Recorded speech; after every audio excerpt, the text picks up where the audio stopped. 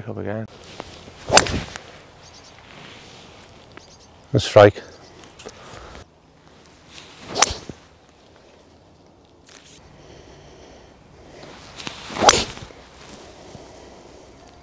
Great ball,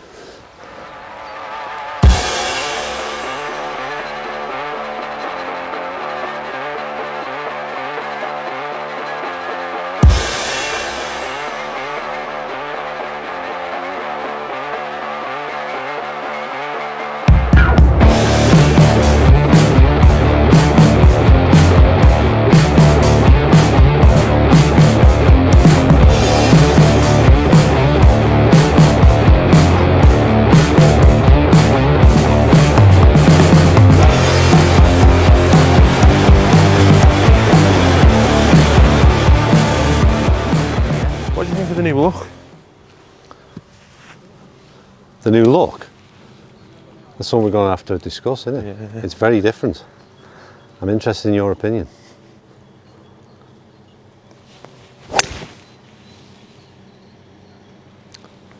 Well done. Take that.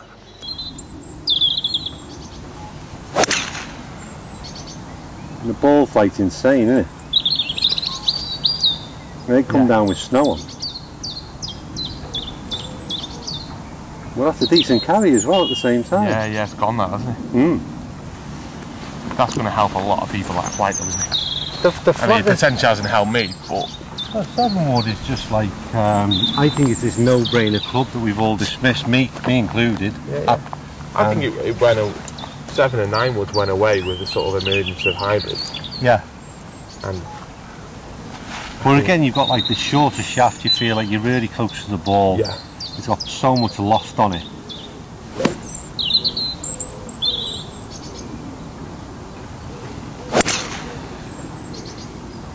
pick up again. Yeah. Easy, innit? I think he, he you know. I normally hit he- long iron off here, so, that. so that's the the thing with seven wood is it's carried a lot further than where, but it's, I mean it's ended up in the same spot. Yeah. It's so much easier, isn't it? A strike.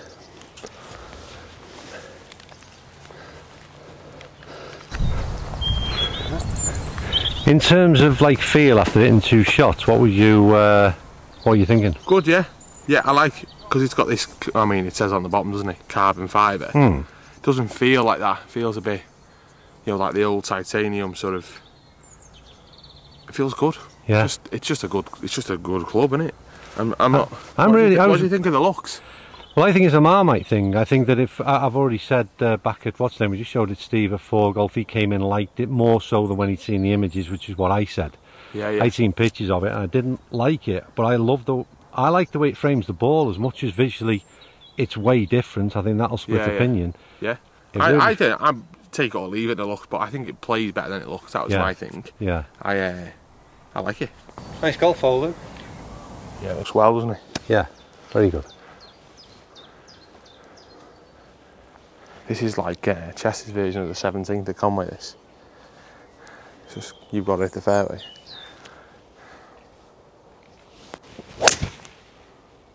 Yeah, good strike. Solid. It's a lovely crisp sound off it. Yeah. Yeah, spot on. Ooh, yeah.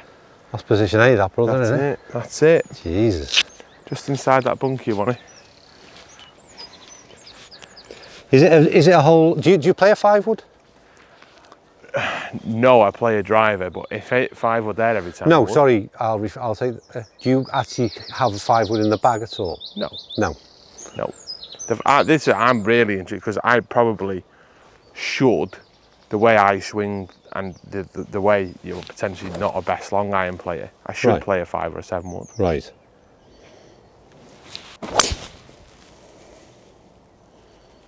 And on the bunker. flight, Yeah, it's it's just on uh, that bun- flight, you, I'd probably say just five would. The way they, the way that it picks the ball up. awesome, innit? Yeah. Well, Lou, you done me by about, I don't know, 25, 30 yards there. But anyway, I'm at the bunker. I'm going five and Louis got the seven wood. You just laid up perfectly, didn't you? Yeah, you got to know your yardages, mate.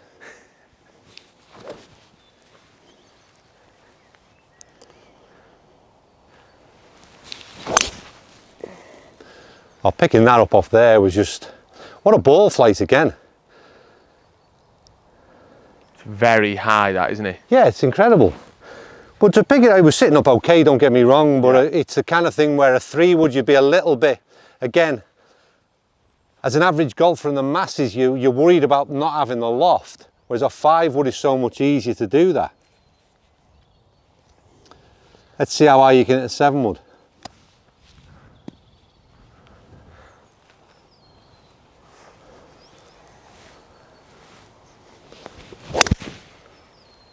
Strike.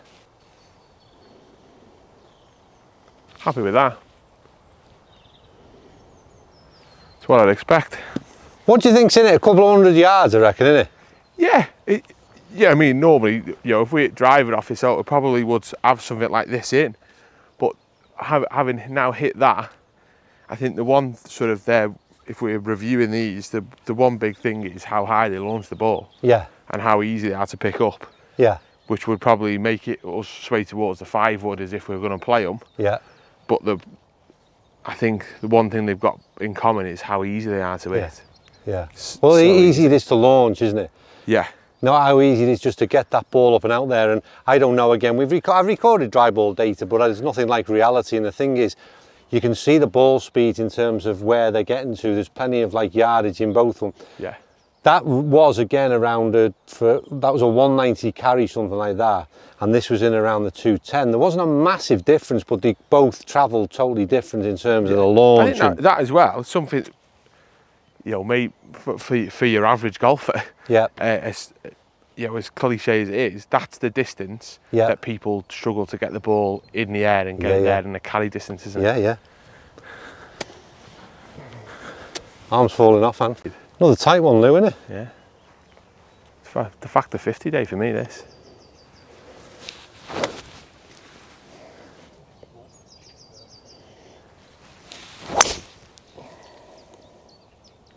I'm loving that, you know. I just can't get over how you get it in the air so easy. No. That's that's that's down the centre strike, mate. If I had driver in my hand now, With a little draw as yeah, well, we which could have a little draw.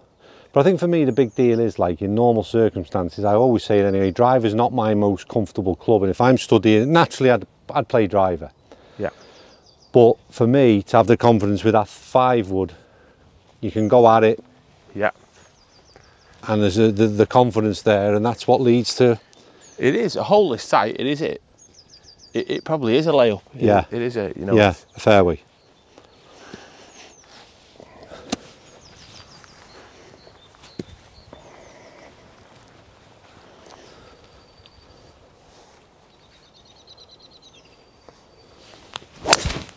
Strike.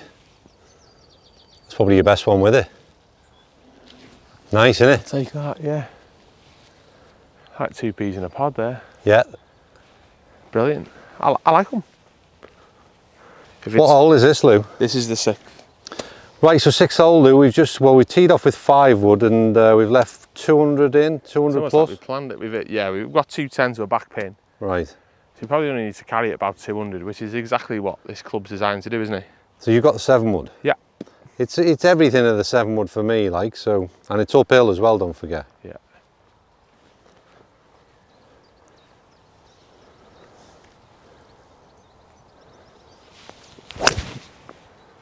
It's a great strike. You're right, it's probably the five wood. Yeah, just not quite enough. See, it's on there. It's nearly there. We'll swap places, and I'm going to try the five. Yeah, it just goes up in the air, doesn't it? Yeah. Still recording.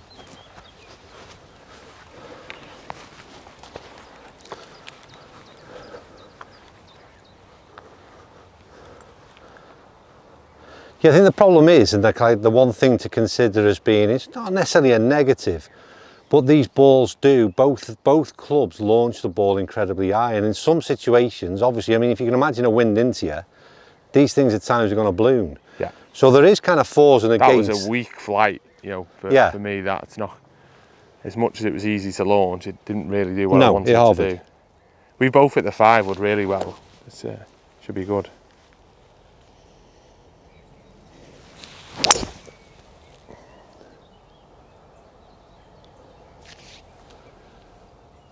great shot. Yeah. yeah but again, that's probably again just over 200 carry up the hill. Uh, I certainly haven't got to that back flag. But oh, again, the big thing for me is dead easy to pick up, and it's a it's a confidence thing though, as much as anything, as much as what the club um, brings in terms of performance, that confidence bit. And I'll say again, let's forget the fact that what we're reviewing in terms of the, the PXG products today. I reckon if you're talking, we've looked at Mizuno, we've looked at the Ping versions of these. I think my own opinion is in the last couple of years, this is where the technology has really sort of moved on a bit. And the performance in these type of clubs is the big change that um, I think that average golfers should be making the most of, in my opinion.